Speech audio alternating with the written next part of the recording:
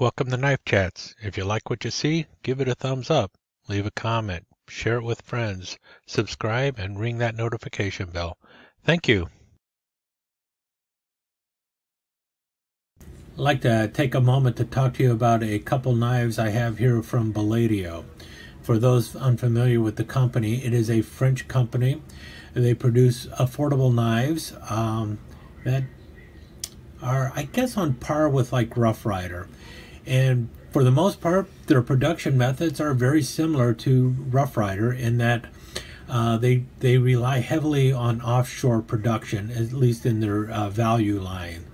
And what I mean by that is uh, Baladeo uh, has steel made in France, but then they ship it off to uh, China, where the knives are then made under strict quality control uh, methods uh, designed by Baladeo in a factory there. So they're watching the production, and then once they're satisfied with the quality of the knife, the knife is shipped back to France, and Baladeo then sells the product. Uh, very similar to the way Rough Rider handles its production of knives. Um, it's an American based company, product made overseas, comes back to the United States, and then is distributed. Uh, Baladeo is doing the same thing, except it's going France, China, France. So what we're looking at here is a classic uh, picnic knife or shepherd's knife, and then a slightly modified uh, shepherd's knife or picnic knife. Now I've done a video on what a picnic or shepherd's knife is. I will put that in the description below. Uh, for the very basics, it's basically a single bladed knife with a large clip blade and a corkscrew. That is your basics of a shepherd's knife or picnic knife. Uh, typically, they'll be on a powder horn frame. So what we have here are two of those knives by uh, Baladeo, but if you notice, it is the blades are clearly stamped Laguiole. So let me get the controversy out of the way right away. I am working on a video about the history of the Laguiole knife. Uh, that will go into much more detail on the stamping here. I am not going to be concentrating on that in this video. I know it is very controversial, especially in France and in Europe. I think most Americans are ignorant of the entire argument. Uh, and quite frankly, um, I think a lot of people in France are also ignorant of the entire argument and where it ended up going. But anyway, I'm not going to be talking about that controversy anymore in this video. I look forward in another video. And if it's done before this video airs, I will link that in the description below as well. What I really want to talk about is how well these budget knives are made by uh, and if they're worth the money that you're going to pay for them. Uh, so let's start with the one that's in hand, and this is the, uh, uh, what did they call it? Uh, Couteau 11 centimeter Olivier, something like that. I'm sorry, my French is absolutely awful. I know that. They say knife 11 centimeters, olive wood handle, stainless steel blade, um, two forged stainless steel bolsters, corkscrew stainless steel. That's what it says in French, I mean in English. Um, what the knife is, is basically a picnic knife or a shepherd's knife. Uh, we see here the shepherd's cross on it, on the embedded into the olive wood using stainless steel pins. I would have preferred brass, but they use stainless steel. It is smooth. I can barely feel it. You've got the traditional notch in there, which is really good. The olive wood is really rich. My only issue with it is on this front uh, bolster. I'm sorry, on the front one here. If you notice, there is a distinct gap there. You can actually get your finger in there, which is a little bit upsetting. Uh, at the same time, the knife was only about $21, so can't complain about that. You've got the uh, file work going along the back spine here, uh, which looks pretty good. Uh, a well cut uh, bumblebee or horsefly. This is very common with uh, Laguiole knives. We will go into that in another uh, time. Stainless steel bolsters are really nice. and um, the shape is good. My only issue with it was, uh, if you notice here, putting it down, it comes in right at about four and a quarter inches. Usually these knives are four and three quarter inches long, so it's about a half inch shorter than what your typical um, picnic knife is uh, or shepherd's knife would be. But uh, shape-wise, it's pretty good. Uh, what I noticed is it doesn't have the little uh, cut in here uh, let me show you in, well, don't really, can't really show you. Usually there's a little cutout here so that when you open it all the way up, it will lock a little bit underneath the uh, B here. It's not a permanent lock or anything, but it adds a little more strength so the blade is less likely to close. But quite frankly, the spring on this is really tight, so uh, you really do have to give a little bit of a push to get it started. There is not a half stop it's a lazy half stop. You know somewhere up here it will stop from closing um, and you got a good snap closing. It does not hit uh, the back when you're closing. There is definitely some give still left in there. So the blade action is pretty good and you can see it's got a nice wide belly to it. uh, and lots of fingerprints because it is mirror polished going to have to clean it even after I wipe it off. Um, I think the trademark stamping on there with the Laguiole is a little deeper than I would like, but uh, it is in there pretty well. Uh, and it's much better than a, a goofy blade edge. I would much rather be uh, a, a, deeper stamp. Very clearly stamped 440, uh, which is the blade steel that is used. Um, and the finish, finish is not bad, really isn't bad. I do have an issue a little bit with the corkscrew. It is a bear to get out, um, little tight, but it does stop uh, in two positions, which is the way the corkscrew is supposed to act. And if you notice here, there is a slight groove in the corkscrew because it was a two-piece corkscrew to get it to start. So it is a very well-made corkscrew you have the first position stop and the second position stop, uh, which is very common in these knives. And, and actually, that is the way the corkscrew should be acting. It should have the two stops because you're talking about pulling a wine bottle. Very good snap closing. Um, all in all, it's got the right lines. It really looks good. It's a little bit on the shorter side, but for some people that might work out really well. Um, blade length. Let's get this out over here. If you notice, the blade length, uh, overall blade length is three and a half inches. So uh, if you're looking at the cutting edge, it is over three inches. So if you're looking at something that's going to be U UK legal to carry, uh, this is not going to cut it. This is a little bit too long for a UK legal carry, um, and which means there are plenty of places in the United States where it's a little bit over the legal limit of three inches also. But I really like the uh, the olive wood. It looks really good. The knife looks really great. Um, nice tight action on it uh, all in all, for 20 bucks or 21, 22 bucks, I really don't have much of a complaint. Now, the first thing people are going to do is they're going to open this up and they're going to look inside there and they're going to say, man, there are gaps all over the place in this. And I will tell you right now, if uh, if you go around collecting these, it seems to be the fact of life that there is, uh, you will see daylight between the uh, back spring and the liners. Um, especially when you're looking at a knife that's about 23 bucks. Let's move on to the other one. Moving on, we have the Somme Laguiole, which they refer to as a waiter's knife. A 12 centimeter knife, a waiter's knife. Zebra wood handle, stainless steel blade, it bolsters. Everything is stainless steel in here except it has brass pins. And as you notice, they called it a waiter's knife instead of a picnic knife. It's really a hybrid between the two. It's uh, the back side is a waiter's tool. The top side is a more traditional, well, semi-traditional uh, picnic knife. Um, I like this knife, but I also have some issues with this knife. It's a little bit bigger. It's four and three quarter inches long, which is more the proper length for a uh, picnic knife. Uh, my issues really have to do with this lever and a couple things on the other side.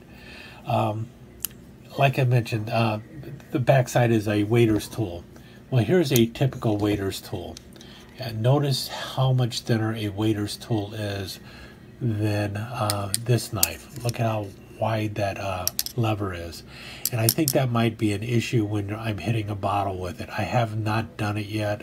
I will find out when I do. Um, but what happens is the, this part of the lever is where the bottle should be resting on it when you're pulling it with the corkscrew.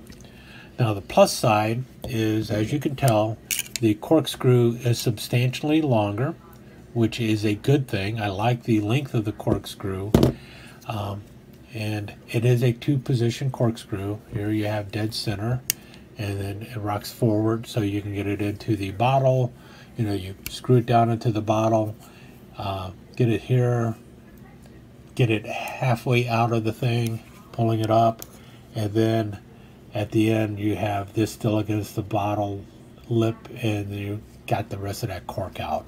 So that part is really good. The action on the cork or on the corkscrew is good. I like the distance you can get on it and everything else.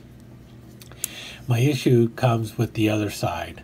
Uh, a right hand opening uh, with a thumb stud, uh, main blade with a liner lock, and you see the liner lock definitely catches all the way. I'm not sure if you really needed a liner lock on a picnic knife, but I guess it's good. Uh, it will help you if, uh, you know, with some of your cutting tasks, if you're worried about it closing up on you and such. Um, you can actually close this one-handed if you're right-handed by pushing in there on that and closing it. So that is also good. Um, you'll see also over here this other blade. Now, I had first thought that this blade was a uh, a label cutter, um, which is very common on uh, like uh, you'll see it here on your waiter's tool. You have a little la label cutter, which is usually a small serrated blade, but this is not a small serrated blade. It is actually a cap lifter, uh, and that kind of confused me. I don't know why they bothered to put the cap lifter here. Um, I get the idea of, you know, maybe you want to open a beer bottle instead, but uh, that's not usually the way you put a cap lifter on a, uh, on a waiter's tool. It's usually uh, built into the lever. You'll see it on this one here, right here. Um, of course, that means you have a cutout there, but that is your cap lifter right there. In this case, it actually works like so. You can actually use the cap lifter without even opening the uh, waiter's tool. But it doesn't always have to be that way. You see here another one with a cap lifter, and in this case you open it up and you use the cap lifter like so. So there was really no reason to uh, have the cap lifter there. I get that they're doing it because of the liner lock, but I think I would have rather foregone having a a uh, a thumb stud opening liner lock blade and have a rather traditional slip joint blade uh, without the lock if it would have meant that the blade would have been uh, or the knife frame would have been a little skinnier and uh, this uh, the lever would not have ended up being so wide because that lever makes this knife uh, about 5 eighths of an inch thick. Compare that with this. See how much skinnier this knife could have been. And they also have this squared off. You notice how square it is? If they would have rounded it off, like you see on a lot of the, uh, well, they could have rounded this off a bit. Let me just put it that way. And they could have also made it the more traditional or more useful uh, double jointed ones, which work better for uh, pulling the uh, cork out of the bottle. So um, I think there's a little bit of work they could have done on this to make this a little bit better. Uh, however, I'm sure a lot of people are really going to like the fact that it is a liner lock uh, and you've got a little bit more blade on it than you did with that four and three quarter inch one. You see here the blade is uh, four, I'm sorry, three and three quarter inch is long. And uh, interesting that the cutting edge is only three and a quarter inches so that's really interesting. Where's the other knife at now? Here we go. That kind of surprises me. Cutting edge like three and an eighth of an inch and cutting edge three and a quarter inches. So despite the blade being longer, or the knife being a half inch longer, the blade is not that much longer. And that probably, no, I don't understand why. It just is the fact. So uh, the one I like better, I think, is the smaller one. For one thing, it's 440. I'm sorry about that glare. 440 uh, stainless steel. Uh, good action on it. Yes, the uh, corkscrew is a little tighter. This one has a much more functional corkscrew. Um, I just wish it wasn't as thick as it was. A lot more heft to it also. Um, but we're talking about 25 to $27 for this one and 21 to 23 dollars for this one. So both of them are reasonably priced. And quite frankly i think the quality of both of them is really well done uh, for what you're paying for them um, it's really up to you to decide if uh, if it's something you're interested in. Uh, and i know uh, just like in america uh, there are going to be people in france who uh, will just refuse to buy this simply because of the Laguiole being stamped on there and this knife not coming from that particular region. Um, that's not the part I was talking about in this video. Uh, I get your uh, I get your pain, I get your grief, I get your and I understand where you're coming from. What I was looking at is just the quality of the knife. Uh, I think they are well worth the price that you would pay for it. And for a person who is interested in uh, learning a little bit about picnic knives and trying to find out if this is a kind of knife that you want to hold on to or carry, or if it's just something you're looking to add to your collection, this might be about the best place to start. Uh, you're not going to find one of these. Uh, I think the last company that was making them uh, that I know of was Rite Edge these you're not going to find anywhere and quite frankly uh, these are a better knife a better more well-made knife than the uh, than the right edge knives. With that said I will let you go and uh, stay tuned for the video on the legal issues surrounding the name Laguiole you know, just to clarify, uh, yeah, you could also save up your money and buy a actual Laguiole knife uh, that is a picnic style knife or a shepherd style knife uh, as your first knife if you're trying to find out about this pattern. But in order to do that, you will probably end up paying between four and seven times more than if you were to just go ahead and pick this knife up and give it a go and see if you like it or not. Uh, that's what I meant when I was talking about the right edge knives, which are very difficult to find these days. You really just don't have a lot of companies making a knife like this in a budget line. Uh, and so if you're trying to find out if it, if it is something you would like, if you're going to carry it or something, really the only game in town right now are these Baladeo knives. Um, yes, the people who collect the ones that are coming out of some of the original factories that were first producing these are going to frown upon this knife. So that's just something to remember also. Like I said also, I do have another video that'll either be coming out or is already out that talks about the controversy and the legal issues surrounding the Laguiole knife. Thank you for visiting Knife Chats. I hope you enjoyed your time here. If you did, please give us a thumbs up and consider subscribing to the channel and ringing that notification bell so that you will be notified when the next episode of Knife Chats is up online. Thanks again. See you soon.